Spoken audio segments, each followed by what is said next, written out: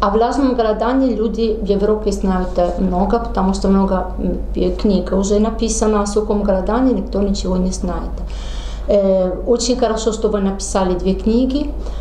Вот. И очень хорошо, что, я надеюсь, скоро выйдет и в Италии монографию с вашими книгами. Вот. Ну, пока книга еще не готова, мы на наш сайт Сибелику получаем много вопросов со стороны итальянских ну, заинтересованных людей. В частности, вот спрашивают, можно ли после длительного влажного голодания например, перейти на сухое. Типа там 40 Нет, дней э, влажное, а потом 2-3 дня сухого. Для организма это будет очень тяжелое напряжение, и поэтому делается наоборот. Можно с сухого голодания, когда перейти на влажное, но никогда нельзя переходить с влажного голодания на сухое, потому что это за- заберет и силу у человека, сделает ему большое напряжение, и для лечебного эффекта это не, не имеет значения. Не нужно. То есть. Так, хорошо. Значит, в Европе часто э, под словом голодание подразумевают э, ну, то, что в России называется разгрузочные диетические К сожалению, и мне пишут письма и с Америки, и это. Люди пишут, мы проходим 50-дневное сухое голодание. К сожалению, никакого отношения к голоданию это не имеет. Организм работает по принципу все или ничего.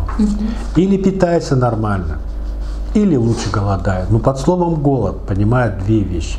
Человек голодает и пьет чистую воду, или голодает без воды. Больше видов голодания не существует.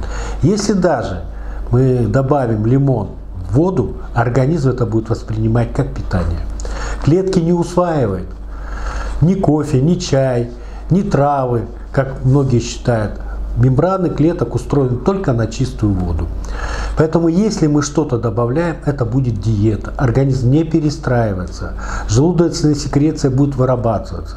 К сожалению, это будет просто относиться к разгрузочной диете, но никакого отношения к голоданию это не имеет.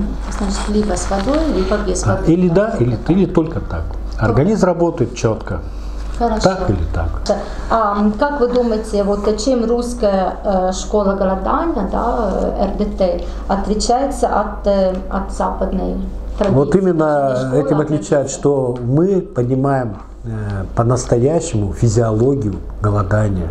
И давно было изучено, что добавляя, и если мы подстраиваемся под, как сказать, ну, наверное, слабость людей, мы делаем только хуже. Наше голодание действительно физиологичное, оно соответствует законам природы, а так как, ну, старается сделать, как бы облегчить человека, но на самом деле это все приведет к обратному эффекту. Надо делать все так, как положено и физиологично. Все это изучено, все это доказано, что никакого ацидоза, самых главных э, перестроечных моментов голодания при таких диетах не происходит. Это диета, которая в принципе может разрушать организм. Это дистрофия. Это не голодание. Чем отличалось при блокаде Ленинграда? Люди, казалось бы, кушали что-то ку- чуть-чуть, чуть-чуть, но они умирали от дистрофии. Если провести правильное голодание, кроме лечебного эффекта не будет. Поэтому голод и диеты. Диеты вызывают только дистрофические процессы в организме. Вот там вся разница. Нашей школы и западной. Еще и психологический момент, наверное. И психологический момент э, в том, что когда мы ничего не кушаем, э, организм легко перестраивается. На второй день блокируется желудочная секреция, значит будет отсутствовать жор, аппетит. Но, к сожалению, когда мы добавляем что-то, этих механизмов не происходит, человеку будет очень хотеться кушать и так далее. Это, это не голодание. Это к стрессу, к пси- психологическому. Это еще дополнительный стресс. Так, э, Сергей Иванович, вы автор э, методики сухого фракционного голодания. Да? Э, Я знаю, что вот, ну, известно в России обычный сухой голодание, но у вас вот именно сухой фракционный голодание. Чем отличается ваша методика от обычного Смысл очень простой, что, к сожалению, в связи с такой чудовищной экологией и негативным воздействием на организм человека, современные люди с каждым поколением становятся все слабее и слабее. Лет сто назад для человека пройти 40, 50, 60 дней голодания не составляло никакого труда. Но настолько все поменялось, поэтому Эта методика была разработана под условия жестких и э, растущих неблагоприятных экологических условий. То есть пройти сразу лечебный срок голодания для современного человека очень и очень трудно. Это какой срок лечебного голодания? Ну, 11 дней. 11 дней, да. да? Угу. Поэтому э, для, мы разработали методику, которая идет по частям. Доктором Войтовичем с Беларуси было доказано, что если человек будет проходить, ну, допустим, проще сказать, э, нормальный лечебный срок 11 дней, мокрый голод 60. Но пройти сразу такой голод для современного человека очень трудно. Но он сделал интересное открытие что если разбить этот голод на три части, то есть сделать по 20 дней там, угу. но между голоданиями будет меньше двух месяцев, и человек будет соблюдать определенную диету, то голод наслоится на голод. То есть получится 60, но для организма будет восприниматься как 3 по 20. Угу. То есть это Легче. легко, это легко и физиологически, психологически, но эффект будет тот же самый, что от 60. Также и сухой голод. Поэтому подобрав под эти условия, подобрав под это, мы стали делать голод фракциями. То есть первый голод 5, потом человек восстанавливается, следующий голод будет, допустим, 7 это, и в итоге в общей сложности получается 11. Ну, психологически, физиологически это будет гораздо комфортнее и легче. Ну, все было. Да, да, да. Значит, у вас какие сроки получается? 5 и потом 7? Ну, это зависит от э, веса человека, от его заболеваний, от его да. подготовки. Это мы уже подбираем все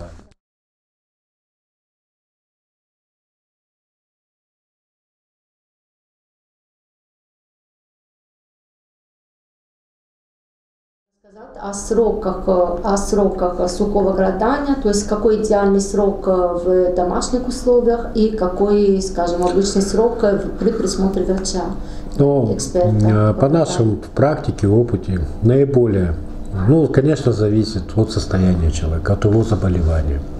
То есть при тяжелых, серьезных заболеваниях больше трех дней в домашних условиях голодать не рекомендуется. Если человека ну, нет таких, и как бы он делает, хочет сделать это с точки зрения оздоровления, профилактики, ну, э, 5 дней. Больше в домашних условиях я не рекомендую проводить. Ну, должно быть при этом вот подготовка. Конечно. Да, к сухому голоданию, чтобы не было никаких побочных действий, должна быть идеальная подготовка. Голодание, сухой голод приравнивается, ну, наверное, как операция. Так же, как готовится к операции. Чем лучше, тем лучше операция пройдет. Также и сухой голод. Здесь никаких поблажек, никакой лени быть не должно. Угу, хорошо. И, ну, как женщина задает такой вопрос, что если в течение сухого Если голода... я так понял, что я понял, что когда бывают всякие женские дни и так далее, то ничего страшного, что если женщина будет прикасаться... Самое главное, при проведении сухого голодания, чтобы вода не попадала в рот. Не полоскай. Все остальное умываться можно, даже помыться. Для трех, там, четырехдневных голодания никакого негативного воздействия на лечебный эффект не будет. И можно продолжать тогда да. сухое голодание, да. да, без проблем. Самое главное, чтобы вода не попадала в полость рта. Угу. Вот еще э, люди пишут, э, задают такой вопрос. Все привыкли э, в Европе ставить клизмы, да, то есть, ну, все... Э, а. вот, э, почему не надо ставить клизмы при сухом голодании? Ну, во-первых, все очень просто. При сухом голодании, при отсутствии воды, никакого всасывания токсинов не происходит. Все может всосаться только в присутствии воды. Это раз. Если мы будем ставить клизмы, то у нас может вся, э, ну как сказать, все отходы организма, ну как их называют, шлаки, при, если мы поставим клизму, они могут всосаться и вызвать мощную интоксикацию. Организм очищается при сухом голодании за счет повышения внутренней температуры. При проведении сухого голода каждая клеточка похожа на маленький термоядерный реакцию. Она включает мощную температурную реакцию, и за счет этого происходит самоочищение организма. Хорошо. Ну, еще такой вопрос. Эм, значит, э, так, ну, в книгах вы э, достаточно так подробно говорите о первом и о втором азиатическом кризисе. Э, значит, ну, Можете немножко об этом рассказать? Какие сроки и всегда ли наступает вот второй ацидотический кризис? И у всех, у больных и у, скажем... Первый ацидотический кризис происходит в основном с первого по третий день. Практически у 90% людей. Это перестройка организма на эндогенное питание. Если на, на мокром голодании это происходит с 4 по 10, то на сухом голоде с 1 по 3 день. То есть при отсутствии углеводов организм переходит на расщепление жиров, в результате накапливаются кетоновые тела.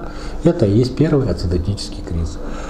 Люди на сухом голоде его просто не замечают. Вот при влажном голодании может быть ухудшение самочувствия, запах ацетона на сухом голоде такого не происходит. Он происходит более мягко, комфортно и быстро. Обычно с первого по третий день. Чем чаще голодает человек, тем быстрее он начинает, может проходить и в первый день, и во второй. Но обычного среднего человека не голодающего с первого по третий день. Второй кризис, он больше не ацидотический, он больше лечебный. То есть когда организм э, происходит максимум, э, как сказать, сгущение крови, там, максимум концентрации определенных гормонов, и это, это обычно происходит с 7, зависит от веса и стажа голодания, с 7 по 11 дней, то происходит, ну, наверное, это больше лечебный криз. Происходит повышение температуры, обостряются все хронические заболевания. Это все происходит в короткие, ну, то есть это я бы криз больше назвал лечебным. Это и у здорового человека? Да, и у, ну, у здоровых людей вообще нет. Есть человек, который считается здоровым. На самом деле, при современных условиях жизни здоровых людей не бывает. Есть жалуются, есть не жалуются. То есть это как бы максимум, пик лечебного эффекта. Проявляется он у всех по-разному, но именно среднестатистически к девятому дню обычно происходит ну, наверное, самый лучший, мощный оздоровительный эффект. Но зависит от веса, от стажа голодания, от заболеваний. Все настолько, ну, я рассказываю общий принцип. Ну да, девятый день такой переходной да. получается. Так, еще вопросы, вот тоже задают вопросы, сухой город и рак. И рак. Да, ну, может, сухой город э, так, помочь. В моей практике были случаи излечения первой, второй стадии рака были интересные случаи, когда женщины случайно, случайно при обследовании нашли рак почки. Она приехала к нам на Алтай, она проходила голод. На девятый день температура тела у нее была 40 градусов. Она была красная, как помидор. Она прошла, то есть вышла из голодания только тогда, когда прошла температура. И когда мы сделали обследование, врачи сказали, что это ошибочный диагноз. Но, к сожалению, Люди обращаются в слишком поздних стадиях. Люди обращаются, когда прошли химиотерапию, когда убита вся иммунная система, когда жизненная сила организма уже, ну, можно сказать, на самом низу. К сожалению, голодание в таких случаях неэффективно. Что просили вот, э, по поводу, ну, такой случай там при асците и циррозе, и панкреатите, ну вот такое. Одно из, э, как сказать, ну, наверное, и полезных свойств, ну, можно сказать, не бывает ничего полезного или ничего плохого, бывает и то, и другое. При сухом голодании происходит сгущение крови. С одной стороны, это очень полезно для организма, так как за счет этого происходит концентрация иммунных клеток, концентрация гормонов, но это имеет и свои побочные действия. Это вызывает перегрузку организма. Цирроз – это уже финальная стадия повреждения печени. И так как у нас портальная вена идет через печень, и если мы будем голодать на сухую, то мы, увеличив сгущение крови, мы сделаем мощную перегрузку организма. Поэтому категорически нельзя голодать при циррозах печени. Ну, в принципе, даже, наверное, при влажном. Это уже финальная стадия. Чудес не бывает. Сплошный тоже не советую. Нет, я не советую. Потому что, хотя врач Орлова у нас в Ростове-на-Дону, да. она вылечила себе цирроз печени. Ну, цирроз циррозу рочь, если начало есть. Но если уже асцит, а у нее асцита не было, у меня было начало. Она вылечила за 30-дневное голодание. Но если есть асцит, это уже печень, то есть вообще не может работать. То есть кровь вообще через нее не может, венозная кровь пройти. И жидкая часть крови выходит в брюшную полость. Ну, это финальная стадия. И даже разгрузочная тогда терапия. Ну, наверное, здесь надо классная. делать не жесткие сроки, может быть, делать однодневное голодание. Ну, наверное, просто чтобы продлить качество жизни. Угу. Вылечить это уже невозможно. Еще, э, Сергей Иванович, какие, на ваш взгляд, самые ответственные моменты при сухом голодании? На что нужно обратить внимание? Самый ответственный момент, когда нужно прекращать сухое голодание, это, конечно, частота пульса. То есть, если у человека частота пульса свыше 120 ударов и очень плохое самочувствие, это самый главный критерий прекращения голодания. То есть идет интоксикация, организм не справляется сразу. Сразу же надо прекращать голод. Запомните. Пульс свыше 120 и очень и очень плохое самочувствие. Вот основные критерии, по которым надо срочно прекращать голод. Еще ну, скоро в Италии выйдет эта первая монография о сухом голодании, но голодании вообще, в частности, о сухом голодании. Какие пожелания вы, вы хотели передать ну, будущим итальянским читателям? Я бы хотел сказать, что это методика природы. Конечно, это не панацея, но она при правильной идеальной подготовки обладают очень мощным, эффективным лечебным действием. Сейчас очень в мире много и онкологических заболеваний, и очень много аутоиммунных заболеваний. Мы вот сейчас очень хороший у нас результат, и вот сейчас ко мне приходят и приезжают болезнь Бехтерева, ревматоидный артрит. И это самое лучшее на сегодняшний день профилактика онкологических заболеваний. Лучше сделать профилактику, чем лечить рак. Но это вообще, я считаю, в современных условиях при чудовищной экологии, фармакологии и так далее, это, ну, наверное, самый действенный, простой, эффективный метод природы.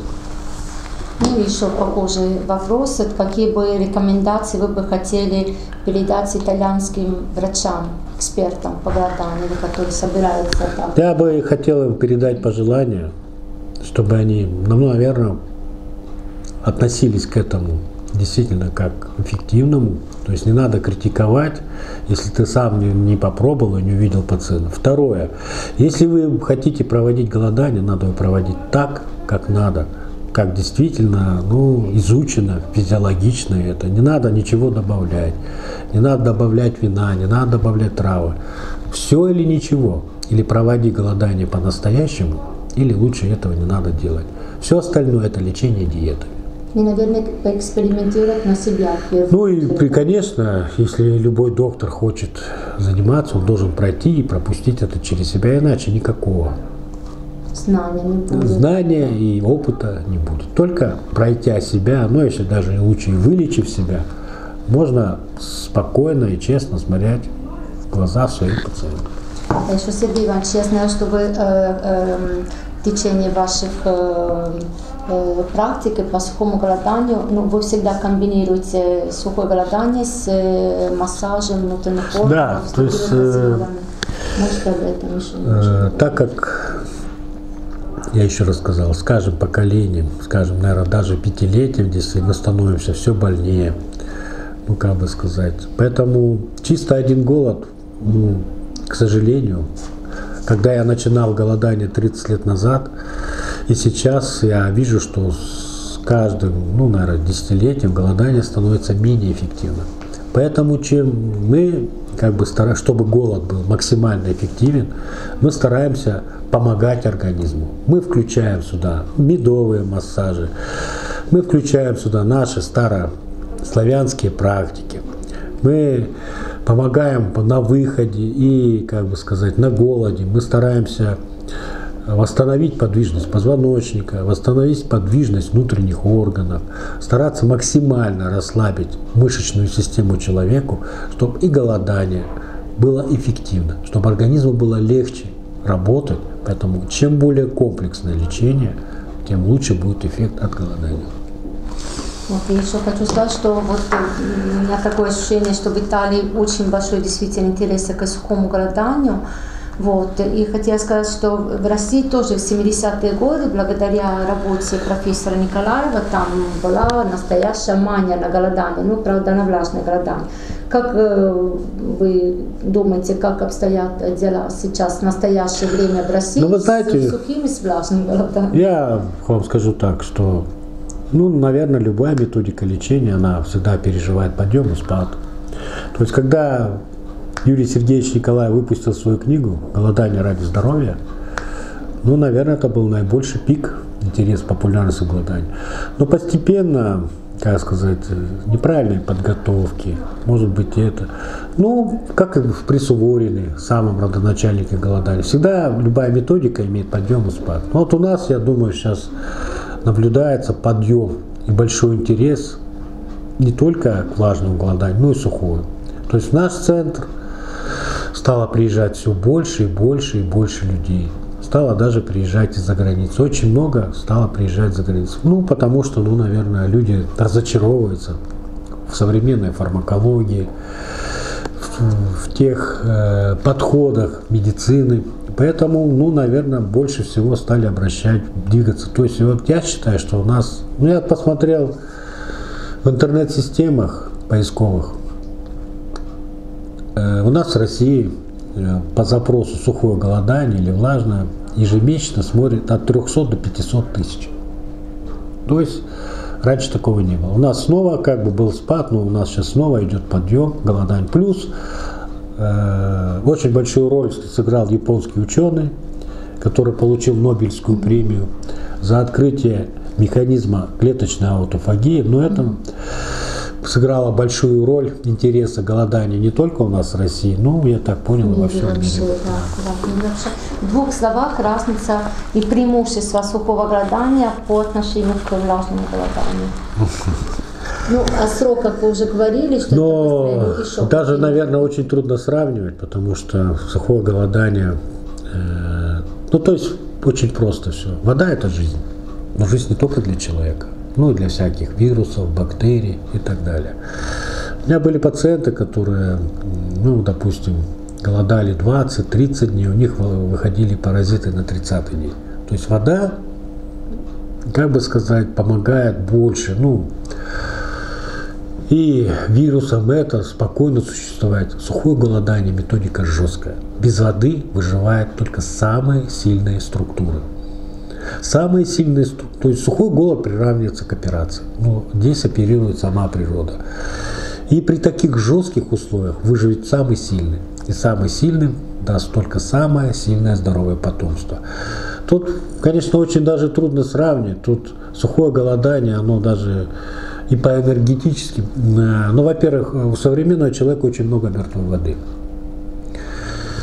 В условиях жестких в организме каждая клеточка начинает вырабатывать самую лучшую живую водичку для себя. Поэтому это единственная методика в мире из всех видов голоданий, при котором происходит замена мертвой воды на живую, созданную своим организмом. Экзогенный на эндогенную, да, воду. Поэтому, ну, наверное, трудно вообще это сравнивать. Ну, во-первых, здесь происходит изгущение крови, как я уже говорил, тут повышается иммунитет несколько раз, повышается Э, количество противовоспалительных гормонов. Потом э, при хронических воспалениях, любое воспаление это вода. Когда человек голодает на воде, воспаление практически уходит очень медленно. Нет воды, нет воспаления. Почему, если мы при любом ОРЗ или гриппе голодаем на воде, надо 4-5 дней, на сухом голоде это все проходит за 2 дня. То есть и сроки, и воздействие на организм более жесткое, ну и более эффективное. Поэтому к этому виду голодания надо готовиться идеально.